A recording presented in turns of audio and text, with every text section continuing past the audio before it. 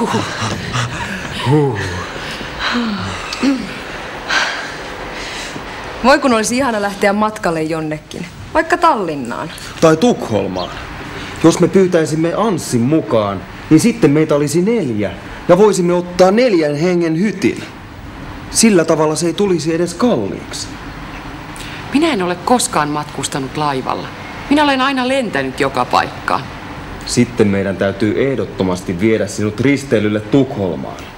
Siljalainin laivat ovat varsinaisia loistohotelleja. Muuten, minä luin pari päivää sitten vanhasta Parnassosta yhden Anna-Leena Härkösen novellin. Sen nimi on Silja Laine.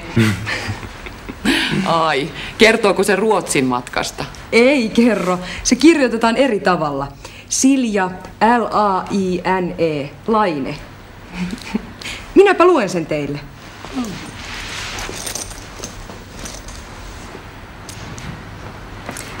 Silja Laine. Ensin minua alkoi hervottomasti naurattaa sen naisen nimi. Sen nimi oli Silja Laine. Kyllä minä tiedän, ettei siinä ole mitään nauramista. Mutta minulle tuli vain mieleen se mainos, että salaperäinen kuin Itämeri itse. Ja sitten minulle tuli mieleen yksi Jarkon liikemies tuttu, jolla oli japanilainen tyttöystävä, jonka nimi oli Kumi. Se nauratti minua vielä enemmän. Sen jälkeen minua alkoi palella. Sanoin Jarkolle, että pane lämmitys suuremmalle, tänne hän jäätyy. Ja sitten ei tapahtunut mitään. Minä istuin sohvalla ja hymyilin. Jarkko istui minua vastapäätä ja naksutteli sorminiveliään ja sanoi, että koitetaan hoidella tämä kypsästi. Se se vasta minua naurattikin. Niin kuin aikuiset ihmiset, se sanoi.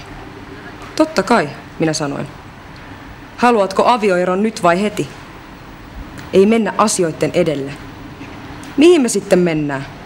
Mihin me mennään? Sano. Minä keitin sitten kahvit.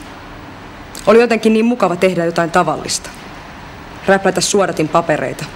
Laskea saludo-lusikallisia. Jarkko naputteli sormella keittiön pöytää.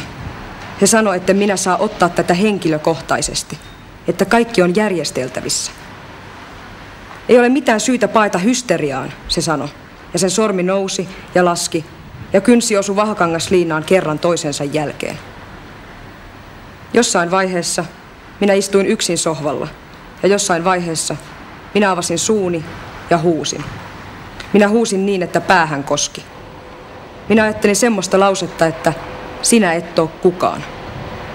Minä kävelin eteiseen peilin luokse ja katsoin omaa kuvaani, enkä nähnyt mitään. Miten se voi olla mahdollista? Että semmoista voi tapahtua. Että äsken oli joku ja nyt ei yksinkertaisesti ole olemassa. Sehän on naurettavaa. Että mua naurettaa. Samana iltana se nainen soitti.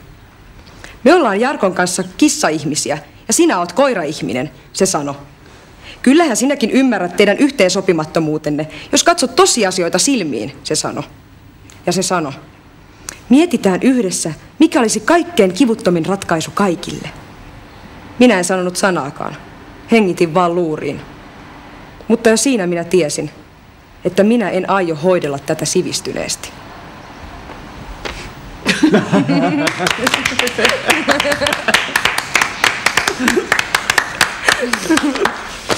hmm. Mihin me sitten mennään?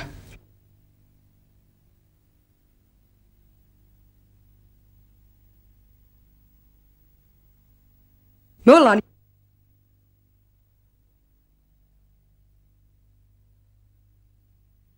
Ja sinä oot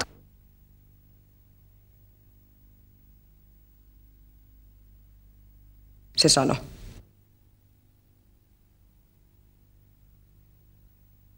Ja kynsi osu. Että mua naurattaa.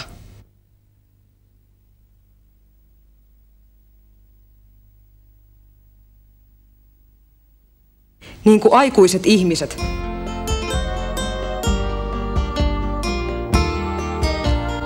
Tavataan taas.